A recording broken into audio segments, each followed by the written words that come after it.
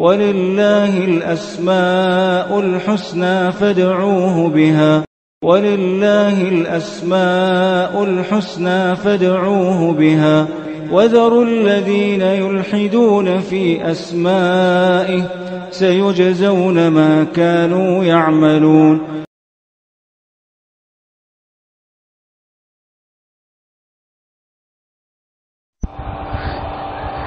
بسم الله الرحمن الرحيم. الحمد لله رب العالمين، وبه نستعين، وصلى الله وسلم على سيد الأنبياء والمرسلين، وعلى آله وأصحابه أجمعين، ومن تبعهم بإحسان إلى يوم الدين، أما بعد. اللہ سبحانہ و تعالیٰ کے اسماء حسنہ میں سے المتین سے متعلق آج معلوم کریں گے انشاءاللہ. المتین اللہ سبحانہ و تعالیٰ کے اسماء حسنہ میں سے بہت ہی معروف نام ہے. اور کیونکہ ہم معاشرتی زندگی میں لوگوں کا نام سنتے آتے ہیں کہ عبد المتین۔ المتین اللہ سبحانہ و تعالیٰ کا جو نام ہے، قرآن مجید میں صرف ایک مقام پر مذکور ہے۔ جبکہ حدیث میں رب العالمین کی کہ اسماء حسنہ کے طور پر یہ نام کہیں وارد نہیں ہے احادث مبارکہ میں۔ جس طرح سے الوطر ہماری جو اس سے پہلی والی کلاس تھی، اس میں ہم نے کہا تھا کہ جو حدیث میں یہ نام مذکور ہے، قرآن مجید میں الوطر بطور نام کے رب العالمین کے لیے نہیں مذکور ہے۔ اس کے برعکس المتین قرآن میں ایک ہی جگہ پر ہے، حدیث میں اس کا کوئی نام نام کے طور پر نہیں ہے۔ ایک حدیث آتی ہے جس میں اسماء حسنہ کے پورے ننانوے نام ایک ساتھ بیان کیے گئے ہیں، اس میں المتین تو ہے، لیکن وہ صنعت محل نظر ہے۔ انشاءاللہ اس کا دراسہ کبھی کریں گے بیدن اللہ تعالی۔ المتین اس کا جو معنی ہے یہ جاننے کے لیے دو تین باتیں میں آپ کے سامنے رکھوں گا انشاءاللہ۔ پہلی بات یہ ہے کہ المتین عربی زبان میں یہ فعیل کے وزن پر ہے، صفت مشبہ ہے یعنی وہ یہ جو متانہ کی صفت سے جو ذات موصوف ہے اس کو جو ہے المتین کہتے ہیں۔ المتین متنا یمتن متانتن، اس کے معنی آتے ہیں یعنی کوئی بھی چیز، اذا قوی وشتد کوئی بھی چیز قوی ہو جائے اور قوی ہونے کے ساتھ ساتھ مضبوط ہو جائے، بتلاتا ہوں میں فرق کیا ہے دونوں کے اندر، آگے انشاءاللہ۔ یعنی ذوالقوہ المتین۔ تو القوہ اور المتین میں ایسا کیا باریک فرق ہے؟ انشاءاللہ میں آگے ذکر کروں گا بزن اللہ تعالی۔ اہل علم نے المتین کے جو معنی بتلائے ہیں، ابن منظور رحمہ اللہ، ابن منظور رحمہ اللہ، لسان العرب میں آغاز ہی ایسا کیے ہیں کہ کل شیء صلب اذا صلب ظهره فهو المتانہ یا فهو متین. یعنی مطلب یہ ہے کہ کوئی بھی چیز، کوئی بھی چیز یعنی مطلب اس کا جو ظاہری حصے میں سلابت ہو، ٹھوس پن ہو، مضبوطی ہو تو جو ہے کچوا دیکھ سکتے ہیں آپ، اس کے اوپری حصہ کس قدر مضبوط ہوتا ہے۔ اس کے لیے لفظ المتین، وہ اس کی اوپری حصہ جو مضبوط ہوتا ہے جو اس کی قوت کے ساتھ ساتھ اس کی عجیب جو مضبوطی ہوتی ہے اسی کے لیے وہ لفظ آتا ہے۔ تو القوا سے ایک زائد چیز آتی ہے المتین۔ القوا کے اندر جو بات آتی ہے اس کے ایک, ایک آگے کا مرحلہ مزید مضبوطی کا معنی۔ اسی لیے ابن قطبہ الدین وری رحمہ اللہ کہتے ہیں کہ المتین کا معنی آتا ہے یعنی الشدید۔ القوی الشدید۔ یعنی مزید مضبوطی مزید سختی اس کے اندر صلابت کا جو معنی آتا ہے وہ۔ امام خطابی رحمہ اللہ، معروف عالم دین، چوتھی صدی ہجری کے اواخر کی ان کی جو کتاب ہے، شأن الدعا المکتبۃ الشاملہ میں موجود ہے، وہ کہتے ہیں کہ جو ہے مطلب اس کا معنی یہ ہے یعنی ایسی قوت، القوہ التي لا تنقطع ابدا۔ یعنی مطلب یہ کہ جو القوہ ہے، وہ تو ہے قوت۔ جب المتین کا ذکر ہوگا، تو اس کے اندر ایسی قوت ہے، ایسی قوت کو کہتے ہیں، القوہ التي لا تنقطع۔ ولا تلحقه في افعاله مشقہ المتین کہتے ہیں مطلب ایک تو اظہاری قوت ہوتی ہے، ایک آدمی کے اندر طاقت ہوتی ہے۔ اور جب رب العالمین کے لیے بات کرتے ہیں تو مطلب اللہ سبحانہ و تعالیٰ قوی ہے اور جو ہے اس کے پاس مکمل طاقت ہے، لیکن اس کے استعمالات میں، اس کو استعمال کرنے میں کبھی تھکاوٹ بھی ہوتی ہے کیا؟ کہا کہ لا تلحقه فی افعاله مشقہ کبھی مشقت نہیں، ولا يمسه لغوب جیسے کہ اللہ سبحانہ و تعالیٰ نے قرآن مجید میں فرمایا نا سورہ قاف میں۔ وَلَقَدْ خَلَقْنَا السَّمَاوَاتِ وَالْأَرْضَ وَمَا بَيْنَهُمَا فِي سِتَّةِ أَيَّامٍ یہ اللہ تعالیٰ کی قوت کا مظہر مظہر ہے ایک کہ اللہ تعالیٰ نے آسمان بنائے زمین و آسمان بنائے، سات دن میں اللہ نے بنائے۔ وَلَا يَمَسُّنَا فِي اللُّغُوبِ وَمَا مَسَّنَا مِن اس کا کیا مطلب ہے؟ کہ اللہ سبحانہ وتعالی المتین ہے۔ کہ اس کے اندر قوت، اس کے اندر شدت۔ تو یہ معنی آتا ہے اس کے اندر۔ جب ہم کہتے ہیں اللہ سبحانہ و تعالیٰ کے لیے المتین اللہ سبحانہ و تعالیٰ کے لیے جب ہم کہتے ہیں المتین، تو یہ بھی دیکھنا چاہیے کہ یعنی قرآن مجید کے اندر القوا المتین، دونوں ایک ساتھ ذکر کیے گئے ہیں۔ ایسا دونوں میں کیا فرق ہے، وہ بھی دیکھنا چاہیے۔ اہل علم کہتے ہیں کہ القوا کہتے ہیں القدرہ التامہ۔ القوا کہتے ہیں القوا کہتے ہیں القدرہ التامہ یعنی القوت تدل علی القدرت التامہ۔ قوت وہ ہے جو ایک مکمل قدرت پر دلالت کرتی ہے کہ آخری درجے کی جو طاقت ہوتی ہے، مکمل کنٹرول، مکمل طاقت۔ اور المتین اور المتین ید علی شدت القوہ۔ علی شدت القوہ۔ اس قوت کی شدت بتلانے کے لیے چیز آتی ہے۔ ایک ہے مکمل قوت، اس کے لیے القوہ۔ مکمل قدرت کے لیے۔ اس کے اندر کا ٹھوس پن، اس کے اندر کی شدت، اس کے اندر کی صلابت، وہ بتلانے کے لیے المتین۔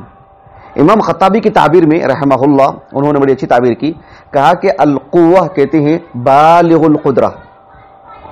اللہ تعالیٰ بالغ القدرہ، اللہ کی جو قدرت ہے، بالغ القدرہ۔ کیوں؟ اللہ تعالیٰ القوی ہے۔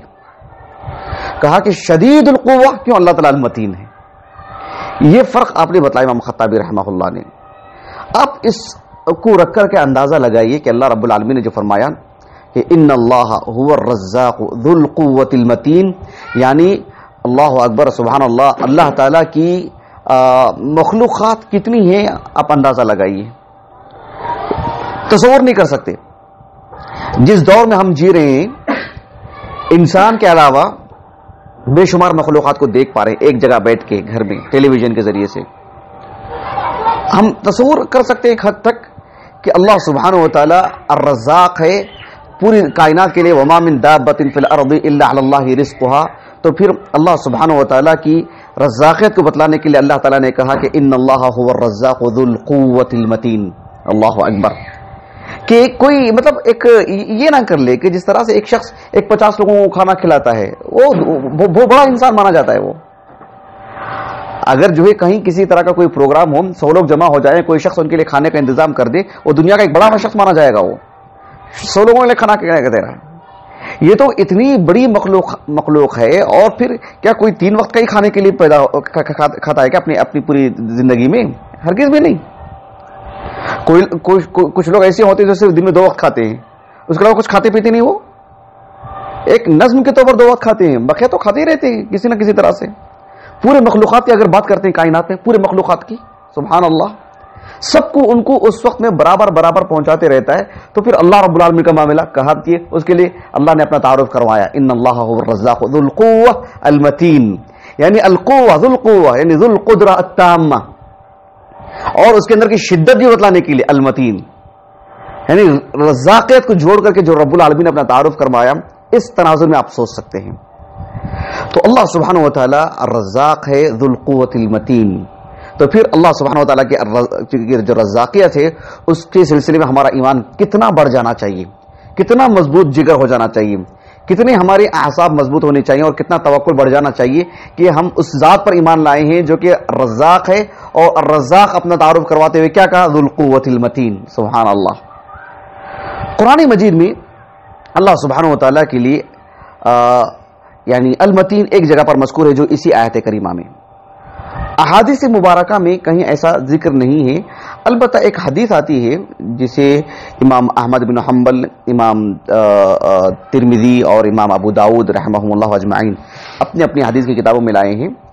امام ابو داود اور امام ترمیزی نے اپنی جو سنن ہے، اس میں ایک کتاب مستقل انہوں نے تعریف کی، کتاب الحروف والقراءات، سنن ابو داود میں۔ چونکہ اس طرح کی کتابیں ہم لوگ مطلب جلدی سے ہم آہنگ نہیں ہوتے، ہم کبھی مطالعہ نہیں کرتے۔ آپ اس کی جو شروحات ہیں، عربی میں ہو یا اردو میں ہو آپ پڑھیے۔ مطلب مطلب دو تین صفحوں کے اندر اختصار کے ساتھ اچھی معلومات دے دیتے ہیں۔ جیسے شیخ عمر فاروق سعیدی کی اگر آپ بات کرتے ہیں، جو دارالسلام سے جو نسخہ چھپا ہے ماشاء اللہ آپ اس کو پڑھ کے دیکھو۔ تو کتاب الحروف والقراءات سنن بداود میں اور سنن ترمیزی میں کتاب اباب القراءات۔ اس میں ایک تابعی ہیں۔ عبد الرحمن ابن یزید النقعی۔ النقعی جانتے ہیں آپ؟ ابھی جو سورہ سبا کی تفسیر چل رہی تھی، اس میں جو میں حدیث بتلایا تھا نہیں فروا بن مسیق رضی اللہ عنہ سے جو حدیث ہے، اس میں اللہ کے رسول نے صلی اللہ علیہ وسلم جو سبا کی جو اولاد ہیں دس بچے جو تھے، اس میں سے ایک کا نام اللہ کے رسول نے لیا تھا، مدحج۔ اسی سے تھے نا یہ فروا بن مسیق رضی اللہ عنہ، مدحج سے۔ مدحج، اس کا ایک قبیلہ تھا، مراد۔ اسی کے تھے غطیف۔ تو اسی کا ایک ایک قبیلہ ہے مدحج ہی سے، جو یعنی نخا کہلاتا ہے، النخاعو، ایک قبیلے کا نام۔ تو وہ بھی جا کر کے وہاں آباد ہو گئے تھے مطلب عراق میں۔ تو اس کا جو خانوادہ ہے، وہ اس سے جڑا ہوا، علم دنیا میں بہت معروف، ابراہیم النخائی اسود ابن یزید النخائی جو ان کے بھائی عبد الرحمن ابن یزید النخائی کے بھائی القمہ یعنی ایک بڑا خاندان اس سے جڑا ہوا ہے، بہت علمی خانوادہ۔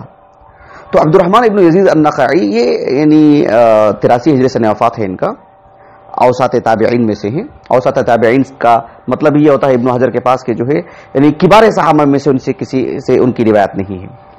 عبد الرحمن ابن یزید النخعی رحمہ اللہ، وہ کہتے ہیں کہ عبداللہ بن مسعود رضی اللہ عنہ، انہوں نے بیان کیا کہ آپ علیہ السلاۃ والسلام نے وہ جو آیت کریمہ ہے ان اللہ هو الرزاق ذو القوت المتین اس کو اس انداز میں اللہ کے رسول نے پڑھ کر کے سنایا کہ انی انا الرزاق ذو القوت المتین ایسے پڑھ کر کے بتلایا اللہ کے رسول ایک اور قرات شیخ البانی نے صحیح کہا ہے اس روایت کو۔ امام ترمذی نے بھی حسن صحیح کہا ہے۔ اور شیخ البانی نے کیا کہا ہے معلوم اس تعلق سے؟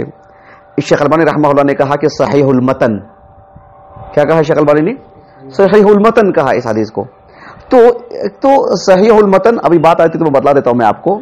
کہ حدیث جو ہوتی ہے اس میں ایک سند ہوتی ہے، ایک متن ہوتا ہے۔ متن کو بھی متن کیوں بولتے ہیں، متن ہی سے ہے وہ۔ متن کیوں کہتے ہیں اس کو؟ اب دیکھو، یہ جو متن کہتے ہیں نا متن ہم، اگر آپ اس کو دیکھیں گے، دراسہ کریں گے اس کا یعنی ہر وہ چیز، کل شعین اذا سلب وقویہ ورتفع اس کو جو ہے، اس کو متن کہتے ہیں۔ کوئی بھی چیز ٹھوس ہو جائے، مضبوط ہو جائے، قوی ہو جائے، اور وہ تھوڑا کچھ بلند ہو، اس کے اندر وسعت ہو یعنی وہ اصل چیز مانی جائے، اس کو متن کہتے ہیں۔ تو چونکہ ایک راوی یا ایک محدث وہ اس کو طاقت پہنچاتے ہیں اس متن کو، اس صنعت کے ذریعے سے۔ متوجہ ہو گیا آپ کو؟ بغیر صنعت کے آپ اس متن کو لے کے کیسے سمجھیں گے آپ؟ اسی لیے اہل علم کہتے ہیں نا کہ جو جو بھی عالم دین، جیسے امام تبری رحمہ اللہ، ان کی تفسیر ہو، خاص کر ان کی ان کی تاریخ کی اگر بات کرتے ہیں، تو اس میں مطلب یعنی بہت کچھ ایسی ویسی روایات بھی ہیں۔ مغزوب قذاب قسم کے روات بھی ہیں مجاہیل ہیں بہت سارے۔ اور اسی کو بیس بنا کر کے بہت سارے لوگ جو ہے مطلب صحابہ پر سب و شتم کے لیے بھی روایتیں حاصل کر لیتے ہیں۔ تو امام تباری رحمہ اللہ کا دفاع اہل علم نے اسی بنیاد پر کیا۔ امام تباری ہی نہیں یعنی تقریباً علماء کا۔ یعنی جس نے بھی اپنی بات سند سے پیش کر دی، وہ تو بری ہو گئے۔ بھی آپ کے سامنے تو سند رکھ دیے۔ اب آپ دراسہ کیجیے اور بات کو لیجیے۔ اب وہ بری ہیں۔ لیکن جو لوگ اسانید کے بغیر پیش کرتے جیسے کہ حافظ سیوتی نے رحمہ اللہ نے جو کہا کہ جو ہے، چوتھی صدری ہجری ختم ہو جانے کے بعد تقریباً پانچویں صدی ہجری کے اواخر میں جو بھی کتابیں تصنیف ہوئی ہیں سندوں کے بغیر، تو اس میں پھر رتب و یابس سب جمع ہونے لگا۔ پھر اس کے اندر جو ہے مطلب الغت و سمین سب سب چیزیں سب اندر داخل ہو گئیں۔ پھر جو ہے اس کے اندر تمہیز اور انتقاء کرنے کی بات کم رہ گئی۔ تو صنعت پیش کر دینے کے بعد بات آپ کو لینے میں آسانی ہوتی ہے بنسبت صنعت کے بغیر کوئی چیز آتی ہے، تو پھر آپ کیسے حاصل کریں گے اس کو؟ کیسے لیں گے آپ اس کو؟ سبحان اللہ۔ ایک ایک بات ہے نا؟ جی۔ تو بالکل تو صنعت سے پیش کرنے کی وجہ سے راوی کا اس متن کو قوت پہنچتی ہے۔ تو وہ ایک معنی اور ارتفاع کا بھی جو معنی آتا ہے، تو گویا کہ یرفا ہو اس کو مطلب وہ اپنی بات سے رسول اللہ تک اوپر بلند، بلندی تک لے کے جاتا ہے اس کو، صلی اللہ علیہ وسلم۔ تو یہ جو ہے المتن کے اسی لیے اسے المتن کہتے ہیں۔ بہرحال یہ ضمنی باتیں رہی متن کے تعارف سے متعلق۔ قرآن مجید میں اللہ رب العالمین کا صرف ایک ہی جگہ پر یہ نام مذکور ہے۔ ان اللہ الرزاق ذو القوت المتین المتین۔ جیسے کہ میں نے کہا کہ حدیث مبارکہ میں بھی یہ نام مذکور نہیں ہے۔ لیکن قرآن مجید میں اللہ سبحانہ و تعالیٰ کی اس طرح کی صفات سے متعلق کوئی صفت بھی قرآن مجید میں مذکور ہے کیا؟ اس لفظ کے ساتھ نہیں ہے۔ جیسے جیسے میں بتلا رہا ہوں کہ الرزاق اللہ کا ایک نام ہے قرآن مجید میں۔ اور اس کی صفت بھی بتلائی گئی کہ یہ رزق میشا اللہ سبحانہ و تعالیٰ کا اسم الغفور۔ یغفر علی میشا ایسے بھی کہا گیا کہ اللہ سبحانہ و تعالیٰ کی جو ہے مطلب ایک ایک, ایک صفات فعلیہ جس کو بولتے ہیں۔ صفات فعلیہ جس کے اندر مشیت جڑی ہوئی ہو۔ اللہ سبحانہ و تعالیٰ الخالق ہے۔ خلق السماوات والارض۔ اللہ سبحانہ و تعالیٰ کی صفت بھی بیان کی گئی ہے۔ ویسی متین جو نام ہے، اس کی صفت بھی کہیں اسی لفظ سے مذکور ہے کیا قرآن میں؟ تو ایسا نہیں ہے۔ بات واضح ہوئی آپ کو؟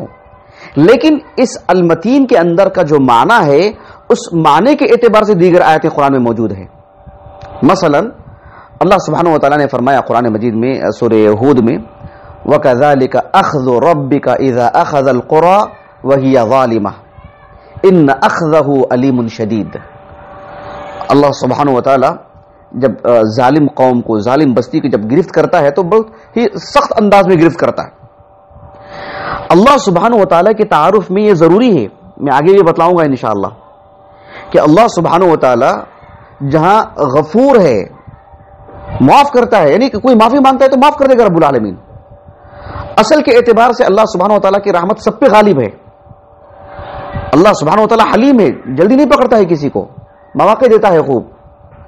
اللہ سبحانہ و تعالیٰ الجبار ہے یعنی بھرپائی کرتا ہے، کسی میں کوئی کمزوری ہو وجبور نہیں کہ اللہ ہماری کمزوری کو دور فرما۔ اللہ سبحانہ و تعالیٰ رعوف ہے۔ رعوف کے اندر کا جو معنی آتا ہے، وہ رحمت سے بھی زیادہ آتا ہے۔ سورہ نور کے آغاز میں پڑھ کے دیکھیں آپ۔